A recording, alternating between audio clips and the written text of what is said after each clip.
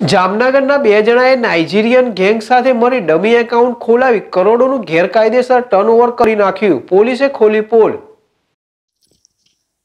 જામનગરના યુવાનને નોકરી અપાવી દેવાની લાલચ આપી જામનગરના બે શખ્સોએ યુવાનના પ્રમાણપત્ર મેળવી ખોટા બેંક એકાઉન્ટ ખોલાવી ગેરકાયદેસરના આર્થિક વ્યવહારો કર્યા હોવાની ફરિયાદની તપાસ દરમિયાન આ કૌભાંડ આંતરરાષ્ટ્રીય હોવાનું સામે આવ્યું છે.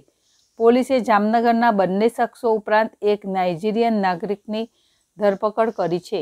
આ આરોપીના કબજામાંથી ત્રીસ બેંકની ચેકબુક અને ઓગણત્રીસ એટીએમ કાર્ડ મળી આવ્યા છે. બે મહિનામાં આ ખાતાઓમાં સો પોઈન્ટ પંચાણું કરોડનું ટ્રાન્ઝેક્શન થયું હોવાનું સામે આવ્યું છે. આ ઉપરાંત ચોવીસ લાખ ઉપરાંતની રકમ હાલ જમા હોવાનું સામે આવ્યું છે. આ કૌભાંડની વિગત મુજબ ગઈ તારીખ આઠ બાર બે હજાર એકવીસના રોજ હરીશભાઈ જેઠાભાઈ પરમાર રહે જામનગરવાળાએ સીસી સીટીસી ડિવિઝન પોલીસે આવી ફરિયાદ કરી હતી કે પોતાની સાથે મેહુલનગરમાં રહેતા જતીનભાઈ પાલાએ આજથી આશરે બે મહિના પહેલાં મને મરીને તે જણાવેલ કે મુંબઈમાં સારા પગાર સાથે આંગળિયા પેઢીમાં નોકરી કરવી હોય તો સંપર્ક કરશો. જેથી આ હરીશભાઈ પરમારે તેનો સંપર્ક કરતા તેને જતીન પાલા તથા જામનગરનો બીજો વ્યક્તિ મોહિત પરમાર રૂબરૂ મરેલ. આ બંને શખ્સોએ યુવાન પાસેથી નોકરી માટે કરંટ અને સેવિંગ એકાઉન્ટ નવા ખાતા ખોલાવવા પડશે. તેમ જણાવી તેના ડોક્યુમેન્ટ મેળવેલ, જેના આધારે જતીન પાલા અને મોહિત પરમારે પીએલ કન્સલ્ટન્ટ નામની ખોટી પેઢી બનાવી નાખી. તે પેઢીના નામના કરંટ સેવિંગ એકાઉન્ટ ખોલાવી નાખ્યા હતા, જેમાં એકાદ મહિનામાં જ આશરે ચાલીસ લાખ જેટલા રૂપિયાની લેવડ દેવડ કરવામાં આવી હતી, જેને લઈને હરીશભાઈ પરમારને તેના ખાતાનો દુરુપયોગ થતો હોવાની શંકા ગયેલ. અને પોતાની સાથે છેતરપિંડી થયાની સીડીસી ડિવિઝનમાં ફરિયાદ નોંધાવી. પોલીસે બંને શખ્સોને સગર મેળવી પૂછપરછ કરી હતી. તો CTC division PI K L Gandhi દ્વારા ઉપરી અધિકારીનું માર્ગદર્શન મેળવી.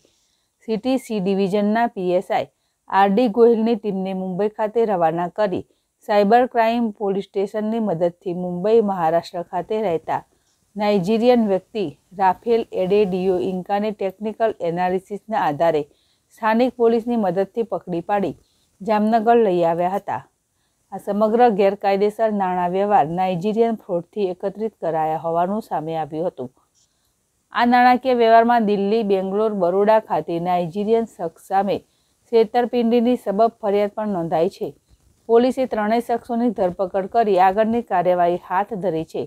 આ કામગીરીમાં મદદનીશ પોલીસ અધિક્ષક નિતેશ પાંડેના સતત માર્ગદર્શન અને દેખરેખ હેઠળ PI K L Gade PSI R D ગોયલે police head constable Hiteshbhai Chavda, Dharmendrasinh Jhala, Pradipsinh Jadeja, Sukhdevsinh Jadeja, police constable Firojbhai Khafi, Darshitbhai Sisodiya, cyber crime પોલીસના બિપિનભાઈ દેસાણી, કુલદીપસિંહ જાડેજા અને ધર્મેશભાઈ વનાણી ફરજ પર રહ્યા હતા.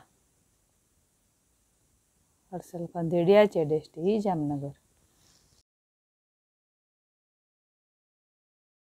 અમે અમારા પ્રગતિના સોપાન સમા વસુંધરા વિલા અને કોમ્પ્લેક્ષ રહેણાંક માટેના પ્લોટ તથા દુકાનોનું ખાત મુહૂર્ત અને શુભારંભ, તારીખ ઓગણીસ અગિયાર બે હજાર એકવીસને શુક્રવાર, દેવ દિવાળીના દિવસે સમય સવારે નવ કલાકે કરવા જઈ રહ્યા છીએ. તો અમારા સાહસના સહભાગી થવા, આપને હાર્દિક આમંત્રણ પાઠવીએ છીએ. સાઇટ એડ્રેસ, વસુંધરા વિલા અને કોમ્પ્લેક્સ. ગજાનંદ સોસાયટીની સામે Bhakhariya bus સ્ટેન્ડથી Aminpura road, Prantij.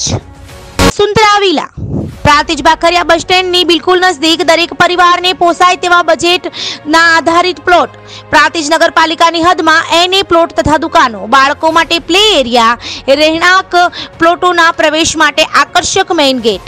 દરેક પ્લોટને પાણીની પાઇપલાઇનની સુવિધા. સોસાયટીના ફરતે સિક્યુરિટીને અનુલક્ષી કમ્પાઉન્ડ વોલ. સોસાયટીના નાના મોટા પ્રસંગો માટે ડેવલપ્ડ કોમન પ્લોટ સોસાયટીની જરૂરિયાતને અનુલક્ષી બહારના ભાગે કોમર્શિયલ સેન્ટર. દરેક પ્લોટની આગળ નાના આકર્ષક ફૂલ ઝાડ ગ્રીન એન્વાયરમેન્ટ કોન્સેપ્ટ. પ્રાંતિજમાં રહેણાંક પ્લોટ લેવા માટેની સુવિધાઓ. સુંદરા વિલા કોમ્પ્લેક્સ એક નવી એવી જગ્યા બનશે જ્યાં જીવન જરૂરિયાત માટે જરૂરી દરેક વસ્તુઓની ખરીદી માટે છે મોકાની જગ્યા અને પૂરતી મોકળાશ. પ્રોવિઝન સ્ટોર હોય કે ડેરી પાર્લર એકવાર વસુંધરા કોમ્પ્લેક્સમાં તમારો બિઝનેસ શરૂ થશે તો પછી તમે પણ બની જશો. ઘર ઘરમાં જાણીતા ના.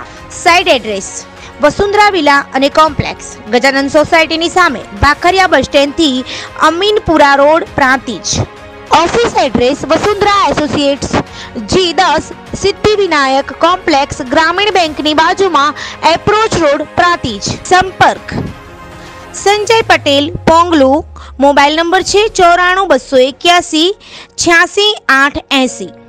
રાજેશ પટેલ, વદરાડ. મોબાઈલ નંબર છે નવ્વાણું, બસો પિસ્તાળીસ, પંચાવન, ચાર, એકાવન.